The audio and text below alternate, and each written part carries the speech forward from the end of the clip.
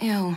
Gotta get rid of this old Backstreet Boys t shirt. Tell me why. Because it stinks, boys. Tell me why. I've washed it so many times, but the odor won't come out. Tell me why. No, you tell me why I can't get rid of this odor. Have you tried Downy Rinse and Refresh? It doesn't just cover up odors, it helps remove them. Wow, it worked, guys. Yeah. Downy Rinse and Refresh removes more odor in one wash than the leading value detergent in three washes. Find it wherever you buy laundry products. I need new music.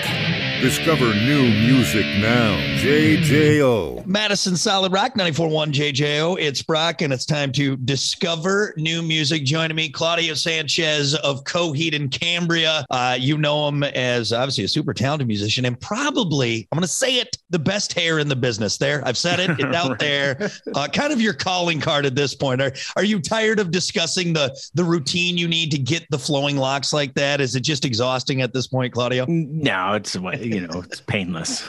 painless. Good, good. 2005, I was a frosted tipped intern, bright eyed and bushy tailed. Uh, and you guys just released Good Apollo. I'm Burning Star 4, Volume 1 from Fear Through the Eyes of Madness. Uh, you did this little meet and greet acoustic set at, a, I think, Capitol Records store downtown Chicago. But long story short, it was effing packed, line out the door. I mean, you couldn't move. And as I was remembering that, I'm like, oh my God, that was 2005. To think that even, you know, like just this band being, you know, professional now 20 years is like far beyond anything we could have expected. that's for sure. Well, you're obviously doing something right. And now here we are all these years later. We have the latest album coming out at June 24th is the release date, correct? Right. Yeah. It had, it got moved because of uh, some situations with vinyl and, and the relic that we're manufacturing for the deluxe edition. So yeah, we had to move it. Vaxis 2 a window of the waking mind. Other than, I believe, 2015's album, all of these have been part of a series, which you are obviously uh, the creator of, uh, uh, the Amory Wars, with it being a concept and almost this this story that has progressed. Uh, and again, with you and your wife working on this, the creators of it and everything, do you have the light at the end of it? Do you know where this story is going to end or is it changed with you and where you're at in life? Right. It's well, it's a little bit of both. Um, as far as like where a part is supposed to end in the overall like arc, mm-hmm. uh, I understand where that's where it's supposed to go. Mm-hmm. But like you're saying,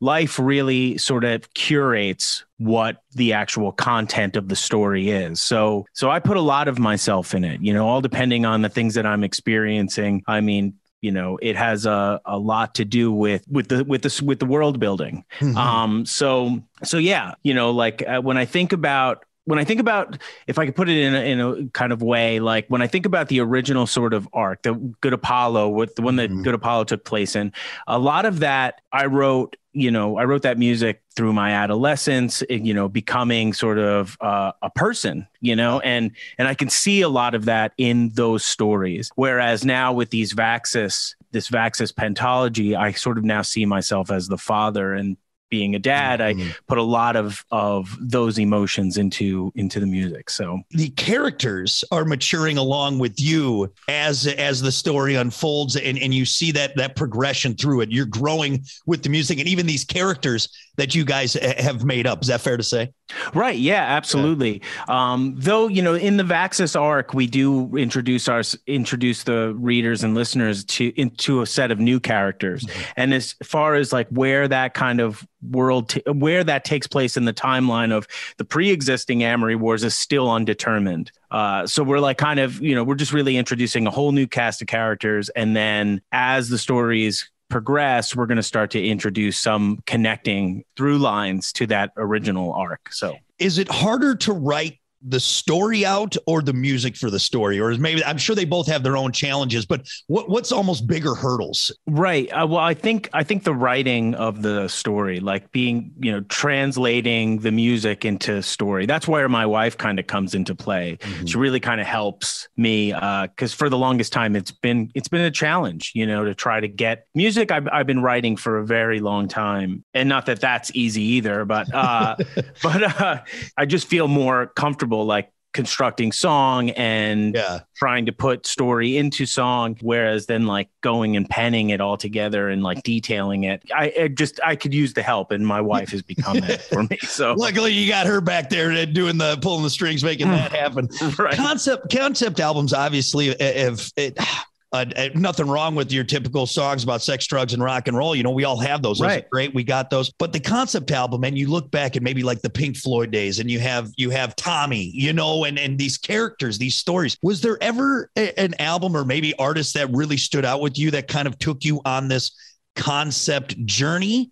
Uh, I think there's a few of them. Well, one, funny you say Tommy. Uh, you know, I wasn't a fan of the Who growing up, but I did go with my high school to see Tommy on Broadway. Oh, very and, cool. Yeah, and so I, I think that may have had a little uh, hand in playing around with my subconscious. I did see uh, Pink Floyd in '94 on the Division Bell tour, and then you know, seeing that made me go down the rabbit hole of revisiting the Wall and playing, you know, Dark Side of the Moon against, you know, the Wizard of Oz. Yep. Uh, but I think one of the one of them that that doesn't really get put into that category often is the Beatles. You know, I think of like the White Album. I think of um, you know, Abbey Road, the second side of Abbey Road. There's some interesting storytelling there, even with the uh, the conspiracies of of Paul being dead and the way they they sort of played against that in some of the songs. Like, so yeah, those would be probably the big three for me. Madison Solid Rock 94.1 JJO. I'm Brock, and my guest for JJO Discover New Music is Claudio Sanchez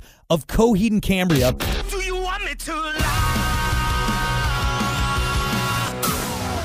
My name is Claudio Sanchez, and I play in the band Coheed and Cambria. Who's more tenacious, Claudio? Is it the comic book people or the music people? I I think because because they they are there's a very symbiotic relationship between both the comics and the music. It's it's tough to say. I mean, if we were to say just uh outside of Coheed and Cambria, maybe Yeah. comic fans. Uh, but yeah, Uh, d- d- d- do you ever have people give you notes on where uh, they think it should go or what you should do with uh, the characters and everything? Oh, absolutely. That happens. that happens. And I think that's amazing. I, I'm actually, I really welcome that because I am a fan. Yeah. You know, that's why I do what I do. And, and, uh, Star Wars comes out with a movie. I have my own ideas of what that is, uh, you know, or whatever, ha- you know. Um, so I get, I, I'm in, I'm into that. I love it. It's, Yeah. uh, I feel very, very lucky to have, have that. I, I guess you know it's nice to know that people care enough or invested enough in the uh, in the characters. They're like, what uh, this I what I think you should do.